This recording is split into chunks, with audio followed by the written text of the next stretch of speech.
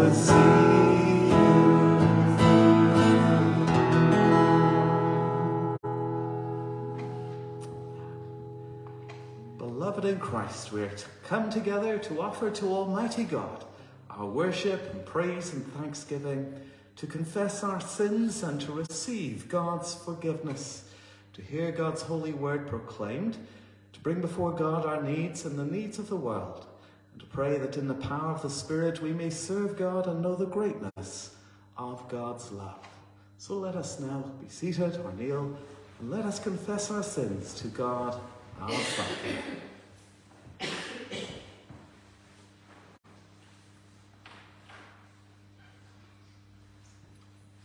Heavenly Father, we have sinned against you and against our neighbour in thought and word and deed, through negligence, through weakness, through our own deliberate fault, by what we have done and by what we have failed to do.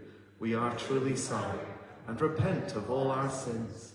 For the sake of your Son, Jesus Christ, who died for us, forgive us all that is past, and grant that we may serve you in newness of life to the glory of your name. Amen. Almighty God, who forgives all who truly repent, have mercy on you, pardon and deliver you from all your sins, confirm and strengthen you in all goodness, and keep you in eternal life through Jesus Christ our Lord. Amen. Amen. And so, as forgiven children, we stand and say, O Lord, open our lips. So God makes speed to save us. Glory to the Father, and to the Son, and to the Holy Spirit, as was in the beginning, is now, and shall be forever. Amen. Praise the Lord. The Lord's name be praised. If you'd like to be seated for our first Bible reading today, Darren's got a reading. Thank you.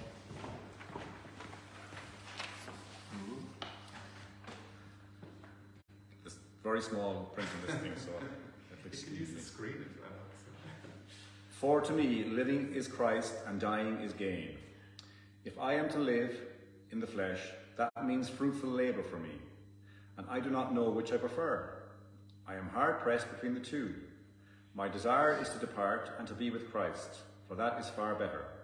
But to remain in the flesh is more necessary for you. Since I am convinced of this, I know that I will remain and continue with all of you for your progress and joy in faith, so that I may share abundantly in your boasting in Christ Jesus when I come to you again. Only live your life in a manner worthy of the gospel of Christ, so that whether I come and see you or am absent and hear about you, I will know that you are standing firm in one spirit, striving side by side with one mind for the faith of the gospel, and in no way intimidated by your opponents. For them, this is evidence of their destruction, but of your, but of your salvation, and this is God's doing. For he has graciously granted you the privilege not only of believing in Christ, but of suffering for him as well, since you are having the same struggle that you saw I had and now hear that I shall have. This is the word of the Lord. Thanks be to God.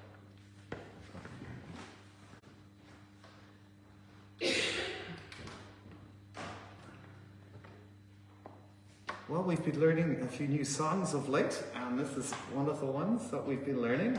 And it's all about just knowing God as a good, good Father. And uh, I don't know what your experience of fatherhood is like. Maybe you had a lovely dad, and that's really good.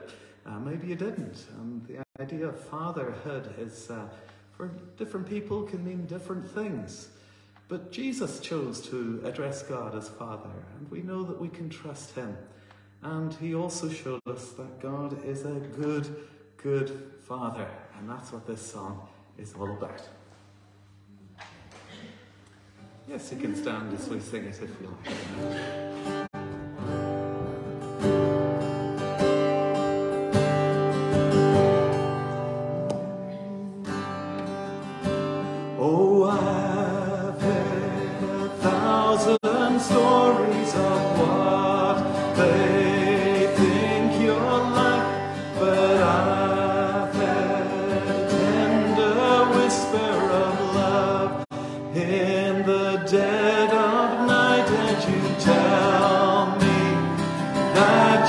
You're that I'm never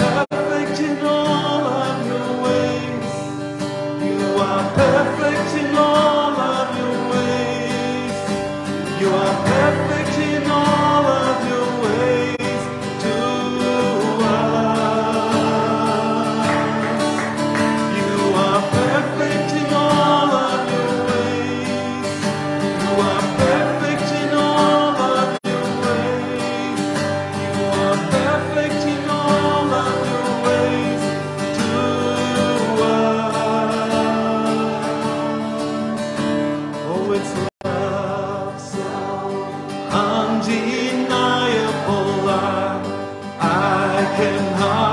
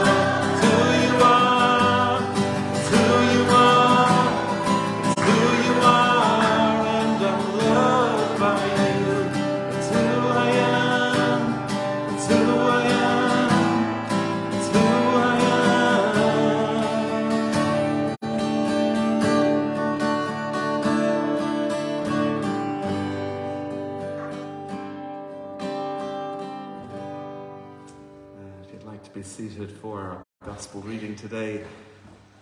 And it's from Matthew chapter 20, beginning at verse 1. And perhaps you've heard this reading before, and I just thought of a new angle on it today. We'll see how it works, whether it fits or not, you can decide. But let's hear the reading to begin with.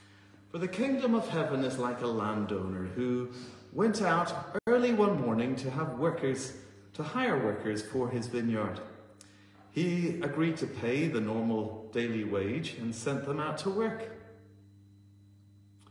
At nine o'clock in the morning, he was passing through the marketplace and he saw some people standing around doing nothing.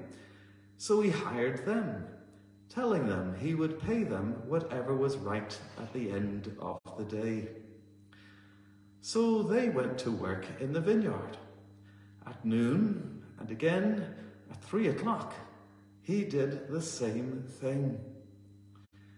At five o'clock that afternoon, he was in the town again and saw some more people standing around. He asked them, Why haven't you been working today?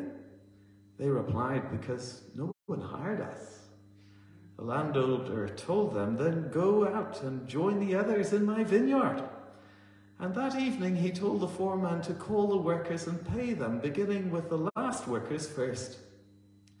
When those hired at five o'clock were paid, each received a full day's wage. When those came first came to get when those hired first came to get their pay, they assumed they would receive more. But they too were paid a day's wage. When they received their pay, they protested to the owner. Those who worked only one hour, Oh, only, let me get, those people worked only one hour, and yet you've paid them just as much as you have paid us, who worked all day in the scorching heat. He answered them, Friend, I haven't been unfair. Didn't you agree to work all day for the usual wage? Take your money and go. I wanted to pay the last worker the same as you. Is it against the law for me to do what I want with my money? Should you be jealous because I am kind to others? So those who are last now will be first then, and those who are first will be last. This is the word of the Lord. And Lord, we pray that you would send your Holy Spirit to us afresh today to give us new and fresh understanding of your word and how it applies to us in our world. Have your way among us, for we pray it in Jesus' name. Amen. Amen. So, yes, the parable of the vineyard just doesn't seem fair at all. At least that's what seems to come across. And I don't know whether any of us have ever worked in a vineyard. Maybe some of you have, I don't know. But I'm sure it's quite kind of hard work. And certainly back in the day, it involved a lot of people. People were needed to harvest the grapes and gather them all in. And you can sort of see the joy on this person's face here uh, as they gather in the harvest. But I was reminded of a verse in Jeremiah 8 and verse 20 where it says, The harvest is past, the summer is ended, and we are not saved. And how that harvesting and working in the vineyard can apply to something at a bigger scale. Not just about harvesting of fruit, but as it were, the people. Are we saved? And as I looked through this parable, I was thinking, you know, what is the most important outcome in this parable. And I wonder, now we can't extrapolate too much out of a parable because it will have its limitations, but I was just thinking, is it not that the work got done? You know, so often we get hung up on the wages and who gets paid what or whatever, but is it not that there was a day's work done and the work got done in the harvest field and the harvest was gathered in? And uh, any farmers among us will realize actually, at the end of the day, that's what you want. You want to get the harvest gathered in, no matter what it takes. As we often sing at our harvest thanksgiving, all is safely gathered in. But what if some of it's left behind? And uh, I love this shot of a combine. I don't know how they cut it so precisely that they left exactly the width of the header on the combine to do that last bit there. That was some going indeed. But what if the guy who was operating the combine said, well, that's it, my time's up, I'm away, and just left that behind? I don't think we'd be impressed at all. And in today's world, I'm not too sure how it works, whether you pay a contractor per acre or per hour, but I'd imagine if they didn't finish the job, you wouldn't be for paying them at all. Let's get the job done. Now, Paul, when he was writing to the church in Philippi, he says, For me, for to me, living is Christ and dying is gain. So he's talking about, you know, dying, not to be afraid of dying. Dying is gain if we're in Christ. But if I am to live in the flesh, he says, that means fruitful labor for me. Paul had a great sense that while you're here, you're here to work. you're here to see the kingdom gathered in or the harvest gathered in. And when I look at this parable, I wonder why that line, last line is sort of thrown in. And I, this is where I guess I'm kind of building my hypothesis on. When Jesus said at the very end of the parable, the first shall be last, and the last shall be first. And at the end of the day, it's all about the kingdom of God and people being drawn in to the kingdom. And uh, what is that about? It's about everyone being saved. Every single soul, every single person, no one left behind. And whether they're first or whether they're last, it doesn't matter because they're all gathered in. And we're all happy that the harvest has been saved.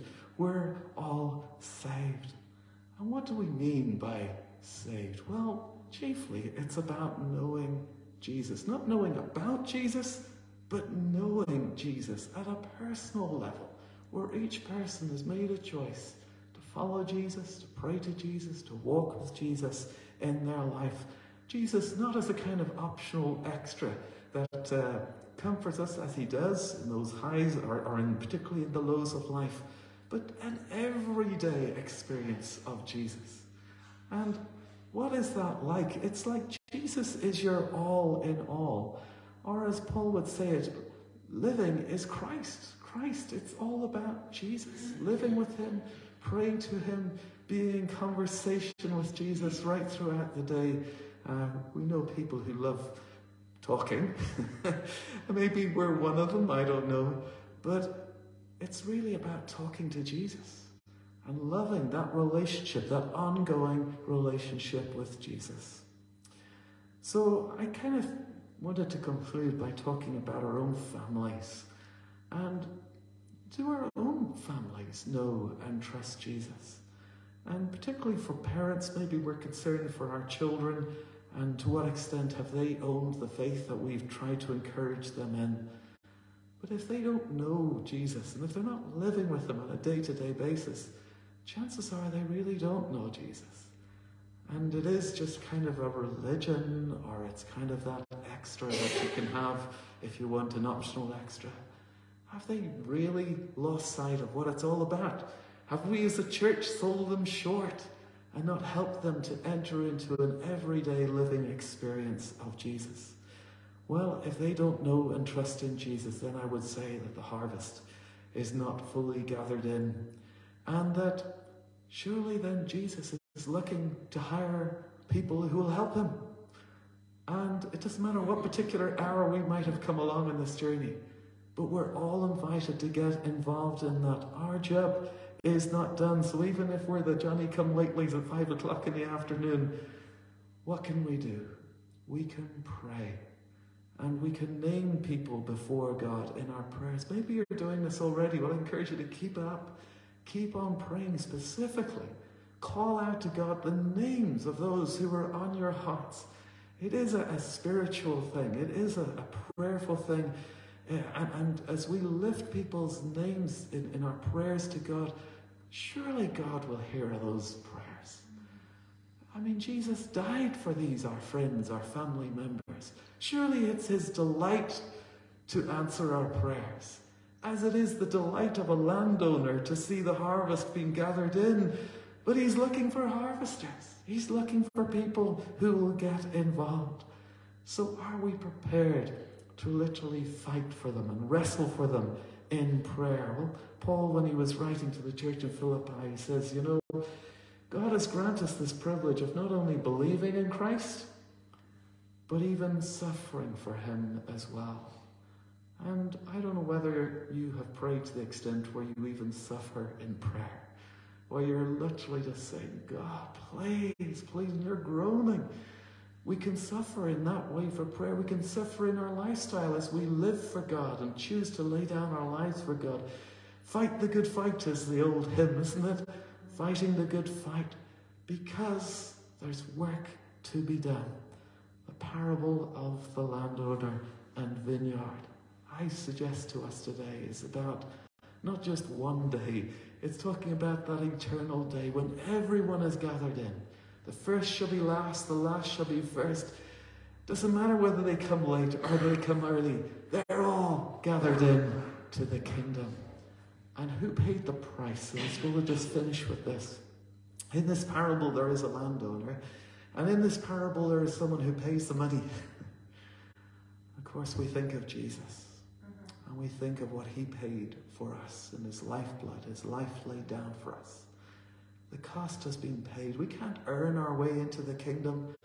And I guess that's another thing in this parable we see. It's kind of a level playing field. Those who are hired all get the same. Doesn't matter when they come in. And as we're gathered into the kingdom, as we become children of God, we all get the same. And it's at the cost of Jesus the gift of eternal life. What a kingdom we're part of. But isn't it terrible to think we might just keep this for ourselves? Isn't it terrible that we might just sort of say, well, the combine is, well, I'm nearly finished now, and we leave a strip in the field and go off? No, that's not what we're called to do. We're here to suffer and pray and groan for those in prayer. We are all invited to be part of this gathering up of the kingdom of God. Let's bow our heads in prayer a moment. Lord Jesus, sometimes we feel very inadequate. And we, we look at our own inadequacies as to how you may or may not use us. But Lord, as you saw those guys hanging around at five o'clock in the afternoon, you said, Yeah, come on, come and work in my vineyard. And Lord, you invite us in, no matter who we are. And you reward us all the same with that relationship with you Jesus has done for us and won for us through the cross. Help us to invite others into the kingdom. Help us to be able to draw others into that living relationship with you, Lord Jesus, that we would see the harvest fully gathered in, for we pray this in Jesus' name. Amen. Let's stand as we profess our faith together. I believe in God, the Father Almighty, creator of heaven and earth.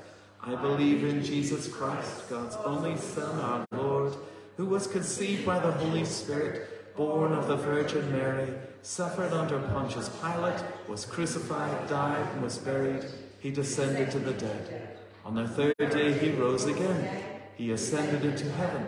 He is seated at the right hand of the Father, and he will come again to judge the living and the dead. I believe in the Holy Spirit, the Holy Catholic Church, the communion of saints, the forgiveness of sins, the resurrection of the body, and the life everlasting. Amen. The Lord be with you. Let us pray. Lord, have mercy. Lord, have mercy. Our Father, who art in heaven, hallowed be thy name. Thy kingdom come, thy will be done on earth as it is in heaven. Give us this day our daily bread, and forgive us our trespasses, as we forgive those who trespass against us. And lead us not into temptation, but deliver us from evil. For thine is the kingdom, the power, and the glory forever and ever. Amen. Show us your mercy, O Lord.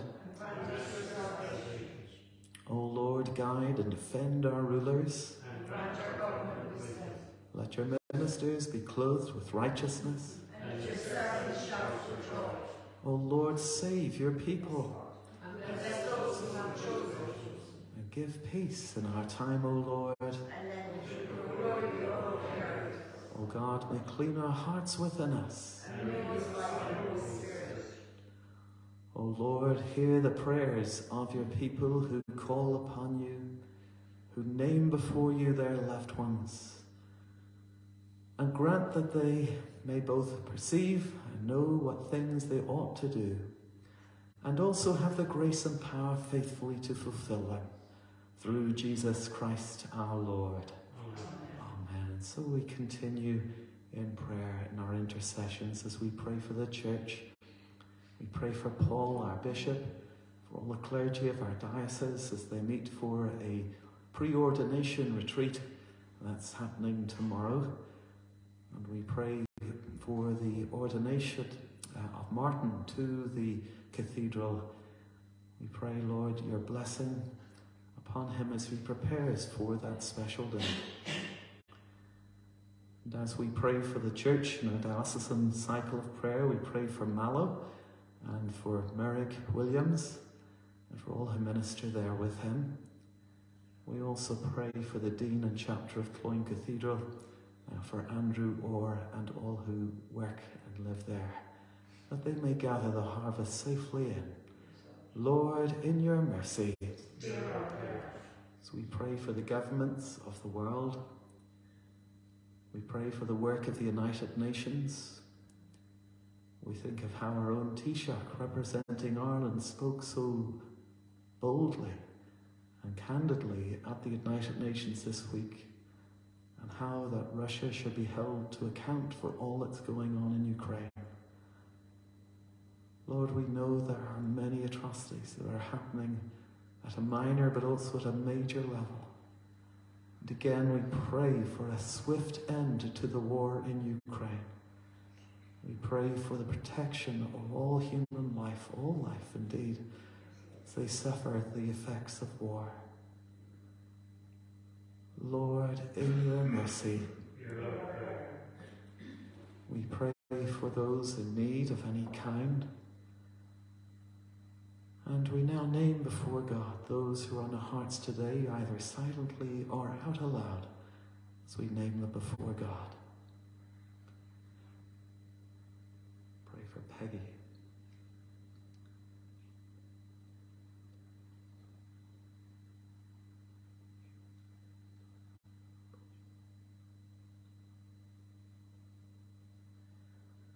And Lord, we pray for all those who've been recently bereaved.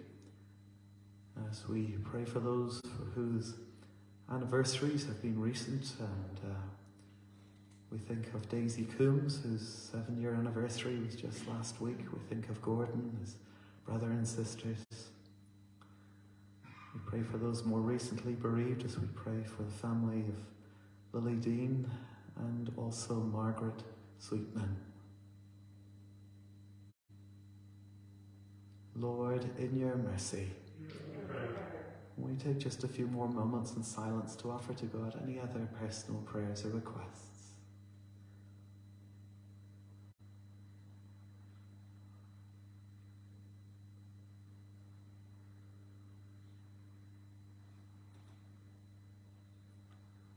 And Lord, keep us prayerful.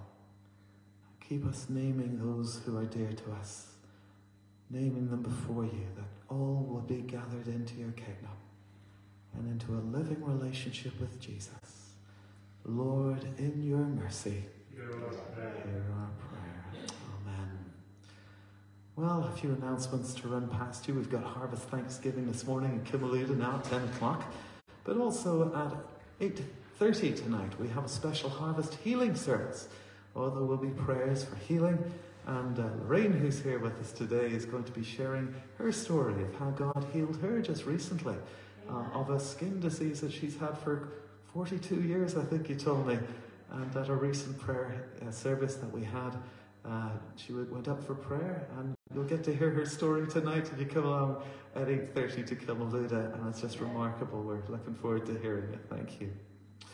This afternoon, you're invited to go to the Festal Evensong that's happening at St. Finbarr's as they celebrate 1400 years of St. Finbar. And if you happen to know anyone who has the name Finbar or Barry or any other version of that, they go along, they'll get a gift, special gift from the church uh, for that. There's a clothing collection happening at Kilgariffe School, uh, and if you have loads of clothes to unload, uh, you can give it in before Wednesday of this week and uh, get it to the school, and it'll be used as a fundraiser for it. No duvets or pillows, please, but there's a whole list of things that you can give. Uh, this is the uh, chap who's being ordained, Martin Steele, who's getting ordained on Monday, and before that, the bishop has invited all the clergy of his diocese together for a pre-ordination retreat, uh, so we keep them all in our prayers as well. Little Treasures, our parental contact group, meets tomorrow morning between 10 and 11.30 as usual. It's the Whist Drive. Our monthly Whist Drive will be on tomorrow evening at 8.30 in a parochial hall. It happens on the last Monday of every month, and this is the last Monday, believe it or not. We're nearly getting to the end of September. As you know, we're looking forward to a special weekend of events happening between the 10th and the 12th of November this year as Bishop Harold and his wife Liz come and share us and share with us. We've been organising some really good things so far, but we're not going to tell you. Hopefully next week we'll be able to tell you all the things that have been planned. But it's not too late to come along to our planning meeting. Uh, if you want to join us, we're meeting on Tuesday evening at 8 o'clock, the earlier time at 8 o'clock in the parochial hall to pray and to plan and to look forward to a great move of God's Spirit, we hope. and then on Thursday, We've got uh, our Holy Communion that happens on a monthly basis in Clonakilty Hospital. On a weekly basis, there's the community bingo in our hall at 8.30. Gosh, I'm flying through it here, aren't I? And then next Sunday, our services, see, we're into October, and uh, we have morning prayer at 10 o'clock here, so we'll invite you back. Those of you who are online can join us at 10 o'clock next Sunday morning, or 11.30 at Kilgariffe Church. And uh, we've got that to look forward to. And just some advance notice then, Friday week, we've got Harvest Thanksgiving happening in uh, Clonakilty, where our preacher will be Adam Pullen, who is the new minister in Dunmanway. So it's a chance for us to get to know and to meet him. And if you'd like to support the work of our churches, you can do so online by clicking the portal at the top of our Facebook page there. And uh, there is an offering we'll gather up.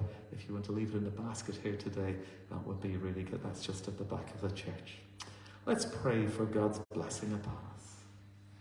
Lord Jesus, thank you that you invite us into the work of your kingdom. As we name people before you in prayer, as we live the life that you've called us to, we pray that you would gather in many people into your kingdom. And so may the blessing of God Almighty, Father, the Son, and the Holy Spirit be with us all now and forevermore. Amen. Imigi fwy hiacon, con gro agus service, huirt den tirna. In Anna Christ. Amen.